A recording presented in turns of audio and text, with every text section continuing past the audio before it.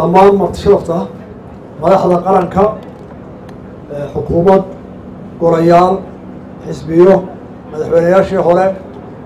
Iyo martisharafta inooga timid dalalka jaarka ah oo ka xusaayo taliyaha guuda ciidanka booliiska jenaraal cabdila gaashaano sare cabdulaahi iyo taliyaha booliiska ciidamada deegaanka soomaaliyeed jenaraal maxamed aada iyo aad baan ugu mahadnaqaynaa ka qaybgalka ay ka soo qayb galeen xafladan maanta sanad guurada sideeyaatanaad ee ciidanka jamhuuriyadda somalilan taasoo muujinaysa iskaashiga iyo wada shaqaynta iyo amniga geeska africa aynu ka wada shaqeyno aada iyo aada soo dhaweynayno maanta boliiska waa hambaryeynaynaa warbixintii ayna siiyey.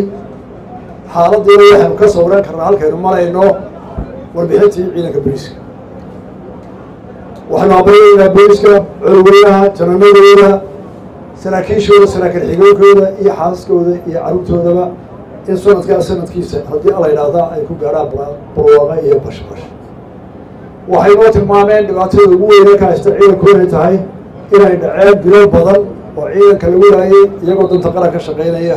Taasoo u baahan qaran ahaan inaynu ka howlgalno sidai aynu u yarayn lahayn oo aynu u yarayn lahayn dadka qaldan ee dagaal dantooda kaga hor imanaya ciidanka booliiska waa arrin culayskeeda leh inaynu ku ogino intaasoo sakaaliya intaasoo askari gudaheena inagoo danteeda ka shaqaynayna dad waxbadarti waxaa kaloo muujiyey culayska lagu hayay gaadiidku iyo shilalku oo ka badan dhimasho iyo khasaaraha ay noo geysanayaan kuwa cudurrada waaweyn ee adduunka uu ka qayrinayo lamida taasoo u baahan wadajir inaynu qaran ahaan aada iska wacyigelino gaadiidka waa dhibaatada uu inoogu hayo dabcan waynu u baahan nahay oo waa nimcaynu gaadiid badan helnay iyo isgaarsiin laakiin dee xagga kalena waxa togan dhibaatadu inagu hayo oo laynoo sheegay. Dhimashadiisu inay ka badan tahay cudurrada aafooyinka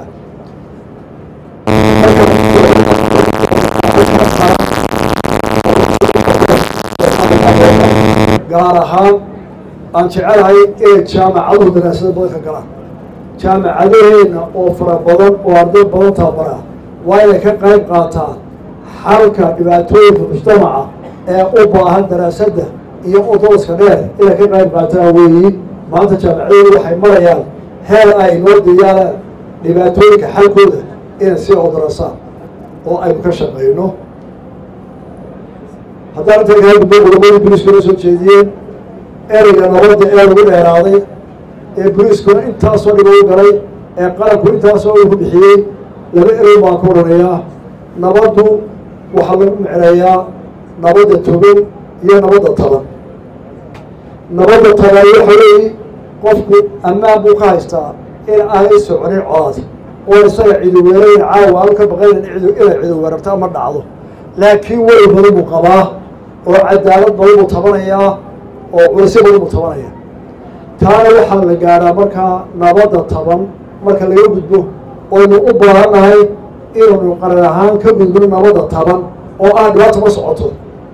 Intaasaa lana dugsanaya maanta dagaalaha kama dhacayo maanta cidoo soo wareegayso gurigeyga waa seexan karaya.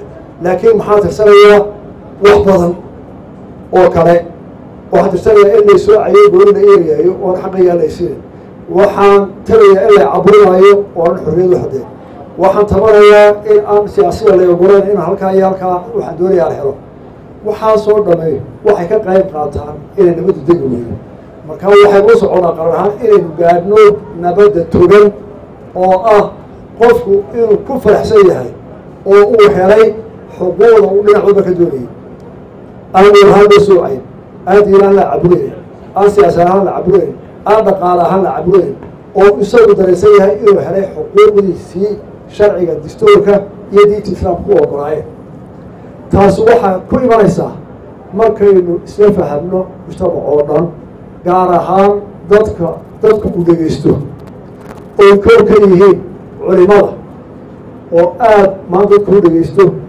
Dad badanna jimcihii intaasoo sheekh ay la hadlaan dadka waxaan u soo jeedinayaa inay qayb weyn ka qaataan nabadda inaynu gaadho nabadda togan oo ah in dadka lagu waariyo oo la gaarsiiyo inuu qofka kale xaqiisa dhowro inuu qofka kale xaqiisa dhowro waxaan rajeynaynaa inaan masaajidada iyo culimadu ay ka dheeraadaan iyagu inay huriyaan wax khilaafaada ama ay ka yimaadaan erayo xanafi bini aadam u wada qaldamaa culimaduna macsuumiin ma aha laakiin waxaan u soo jeedinaa maadaama dadku aada u dhegeysto inay xaggooda ka socoto nabad togan oo ereyooda uu noqdo mid dadka ku daadega waxaa lamida oon u soo jeedinaa madax dhaqameedka oo aada loo dhegeysto dadkuna ay kalsooni badan siiyaan iyaguna inay ka qayb qaataan in ereyga ka soo baxaya uu noqdo miday qofka ku waaninayaan qof wala muwaadin iyo qofka kale inuu xaqiisa dhowro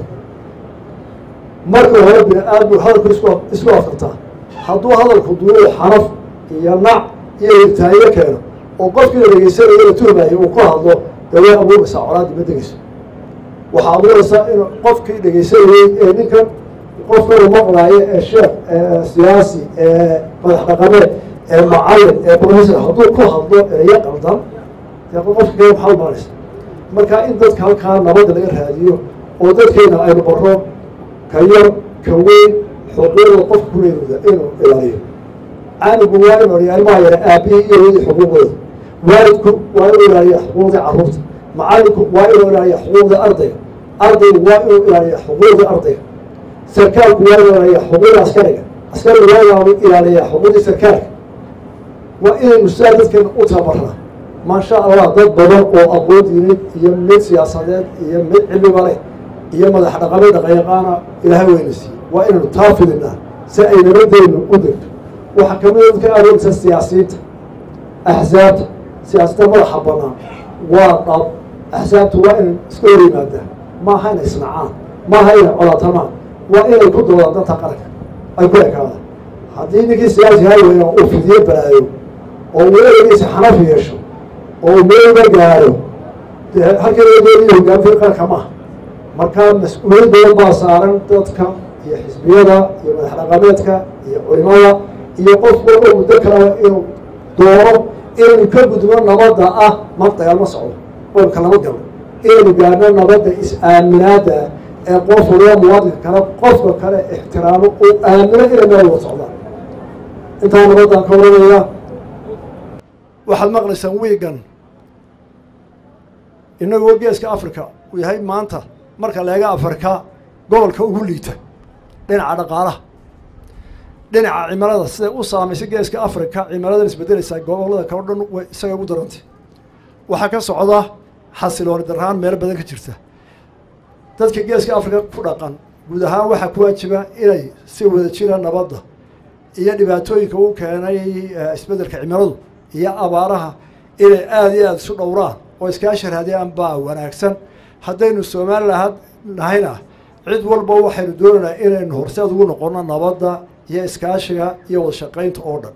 Caalamka oo dhan jaarka mid inoo dhow iyo mid inaga fogba inay noqoto somalilan meel ay ka fidaan nabadda iyo iskaashiga caalamka oo dhan. Oo dadkeenu taa fahmo oonu adduunka taa kaga noqono tusaale lagaga daydo haddaba wiigan dhaweyto waxaa maqlayseen intii maqashay oo miidiyaha laga baahiyay idaacadaha waaweyn. Dowlad goboleedka puntland baarlamaankeedu dood uu soo dhigay oo runtii la yaab lahayd oo aanan garanaysa u timid iyo sida ay rag waaweyn oo aynu jaarnahay ay uga suurtowday oo yidhi somaliland ha lagu daro liiska argixisada golaha baarlamaanka somaliland ba puntland baa laga soo jeediyey. Waxaanu leenahay haddaynu nahay qaranka somalilan annagu waxaanu fidinaynaa in soomaaliya nabad loo doono gudahooda ka heshiiyaan annaguna aan u ducayno. Colaad kama rabno. Halkaa ay dhigeen waxaanu annagu u dhigaynaa walaaltinimo inay gudahooda hagaajistaan. Jaar wanaagsanoo walaalaan ay noqonno dadna aynu isugu dhownahay.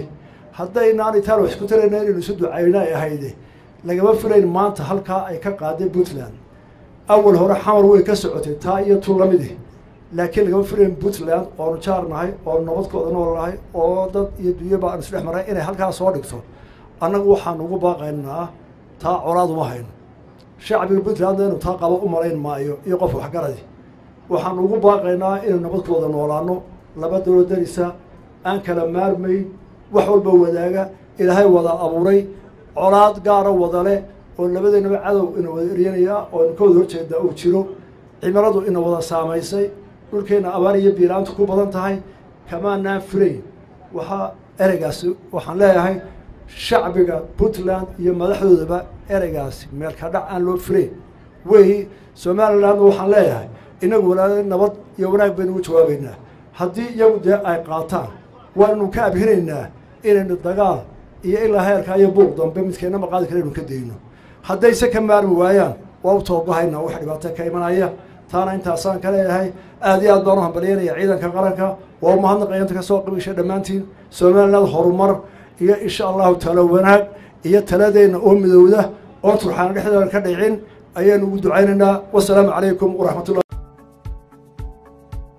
xowlaadaha lacaguhu xirfadaha cilmiga koray waa hanaan ku xidhan oo deg deg iyo xilgudashada. Xaslashada ammaanada xaqiiqdii dahabshiil baa ku caaneed ku dirsa dahabshiil ku hel lacagtaada iyo dahab adigoon isowleyn aqalkaad ku nooleed albaabkiisa joogana. Aayar fariinta lacagtaada ka eego mobilkaaga somtel. Baan xisaabta furan iyo xirfadaha wax soo saar xanaankii bulshada xeerkuna islaam yuhuu maanta kuu xasiliyee. Dhiga lacagtaada dahabshiil bank international ka furo dahabshiil bank international akoonnada kale ah caran account saving account iyo investment account.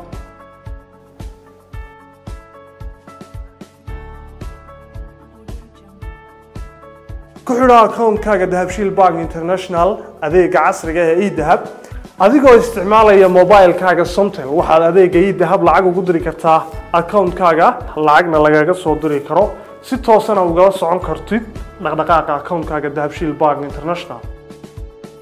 Ku isticmaal mobilkaaga somtel adeega casriga ah ee 4g oo xawaarihiisu aada u sarreeya kuna isticmaal meel kasta iyo mar kasta.